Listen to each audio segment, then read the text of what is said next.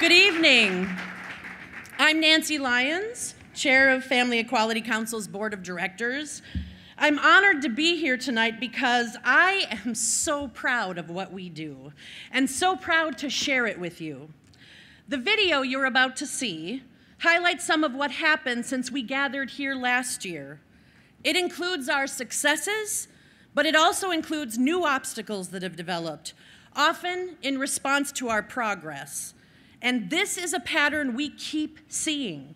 We have a win, and then we immediately face a new obstacle. As you watch, my challenge for you is this ask yourself what you can do to help our successes outnumber our obstacles. Watching that video, I hope it's evident that at Family Equality Council, we wake up every single morning ready to win. A year ago tonight, Mississippi, the state with the highest rate of same sex couples raising children, still had a law on the books that banned same sex couples from adopting. To help right this wrong, we sued that state to overturn this law. That was in August. In November, lead attorney Roberta Kaplan and her team made their arguments to a judge. And seven months after our first action, we won that case. Yeah.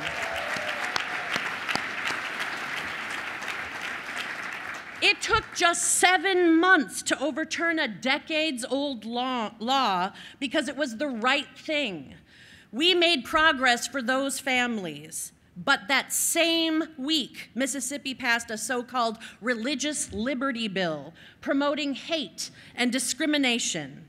Religious Freedom Restoration Acts, or RFRAs as they are referred to, have become our new obstacle. The Mississippi bill is terrible, and we saw it replicated in North Carolina.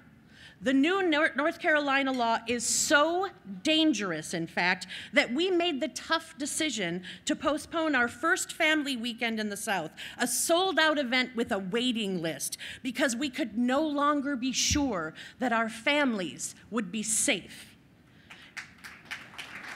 And the story keeps getting more unbelievable. In the days since we produced the video you just saw, the Justice Department told North Carolina that their law violates the 1964 Civil Rights Act and gave them until today to repeal the law and remedy those violations. But North Carolina shot back. Just this morning, two of the state's top officials sued the Justice Department, saying last week's demand was a baseless and blatant overreach. McCrory himself told Fox News it's the federal government being a bully. Really interesting choice of language, I think. These bills don't erase the progress we've made, but they do require us to get more determined, more strategic, and more united than ever. There are children and parents all over the United States whose safety depends on us. As you saw in the video, a family in Utah went through a terrifying experience this year a judge removed a baby from the home of a lesbian couple who'd been fostering her for three months, citing studies that claim that children are better off with a mother and a father. And while that judge was tearing that family apart, he refused to name the research. This one hit home for me when we were adopting our son, my partner and I faced an uphill battle. His biological mother very deliberately chose us, but the hospital in Texas, where he was born, was not at all supportive of our adoption, not to mention same sex adoption.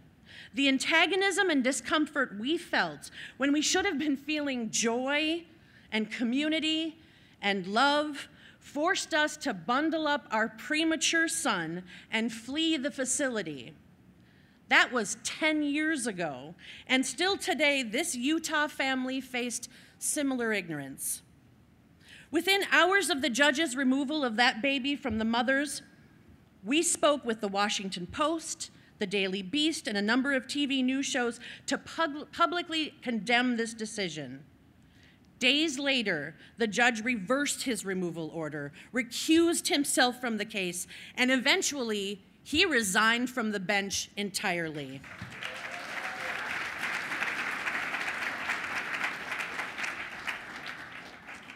Thankfully, this couple, couple never had to give up their baby, and their adoption is now almost final. Yeah. And family equality has more good news ahead for that Utah couple and LGBTQ parents like them across our country. I am thrilled to announce here tonight that after six years of hard work, the Commissioner for the Administration on Children, Youth, and Families will soon issue a non discrimination mandate in the provision of foster care funding. This means that no state, agency, or service provider receiving federal funding to provide foster care services will be able to discriminate against prospective foster parents because of their sexual orientation or gender identity. Yeah.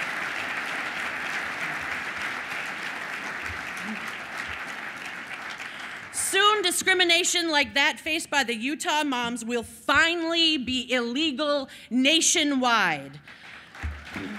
And Family Equality Council was the catalyst for this significant national change. With triumph comes new obstacles.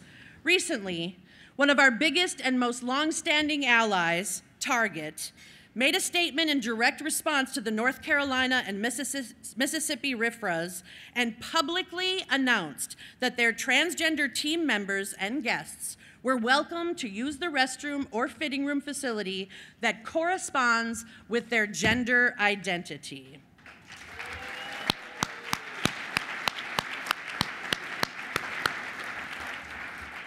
Like Target, we know these transgender friendly policies are the right thing to do.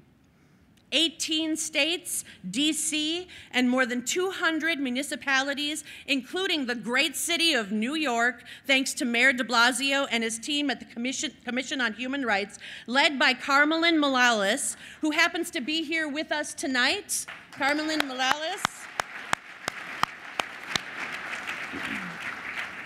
Have all implemented laws and policies just like this with zero reported incidents. Immediately after Target released their inclusive position on bathrooms, the American Family Association attacked with an online position that garnered over a million signatures from people pledging to boycott Target.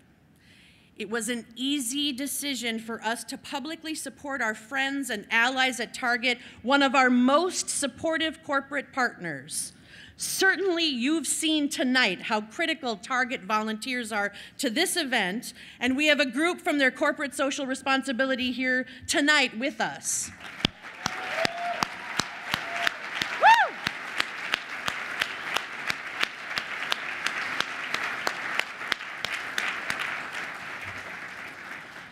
Within days, Family Equality Council created StandWithTarget.com, a social media campaign through which our community could actively support Target's position on inclusivity via Twitter, email, or Facebook.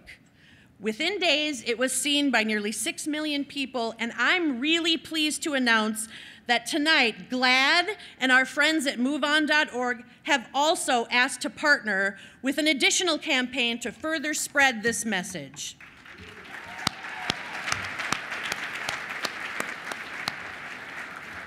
The lesson in all of this is we have a lot of work to do before we achieve true legal and lived equality. And we cannot do it alone. We are all in these fights together, and there are still more to come, and they are getting increasingly complex. Behind each of these laws and headlines are children and parents who just want to live in safety. They want equality. And that's why we are asking for your support here tonight. Together, We can make a difference in this ongoing fight for equality.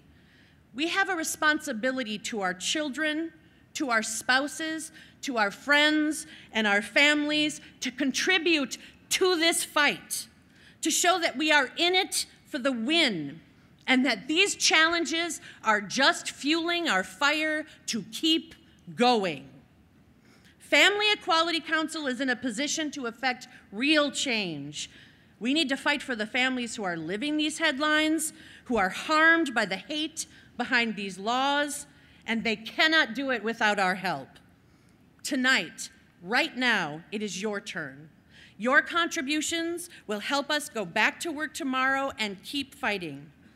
Your support isn't just appreciated, it is necessary. When one person speaks out, yes, someone does hear them. But when joined by a hundred voices, it is harder to ignore. And when said with con the conviction that you find here tonight in this room, it demands to be heard.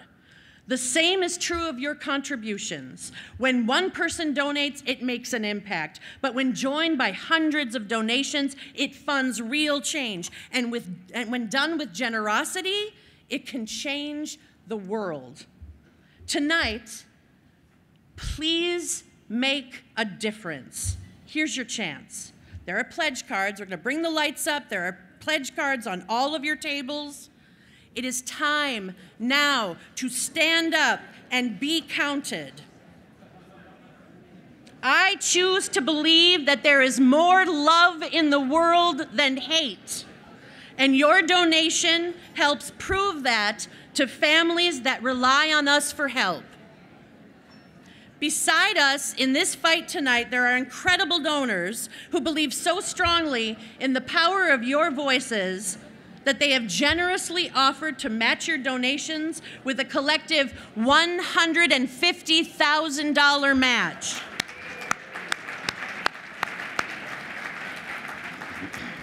That means if you join our protector circle by becoming a major donor with at least a $1,200 gift, you will actually be giving $2,400 to Family Equality. And to you, that's just $100 a month. If you give $5,000 tonight, that becomes 10,000. And if you are someone who can donate $10,000 this evening, your gift becomes $20,000. Family equality staff are going to walk around the room, they're going to talk to you, they're going to collect your cards, and very soon you may even receive a text that will allow you to donate very conveniently from your phones. Together, together we can truly change hearts and minds. Our work isn't nearly done, I'm asking each of you here tonight to join me in supporting the work of Family Equality Council and to consider making your most generous gift yet. I'm hoping you'll make a larger gift than you might usually consider. Pick up your cards. Get your cards in your hand. Cards in your hands. Give for your children. Give for your friends and your family. Give for your spouse. Give for you. Give for Nick. the heck?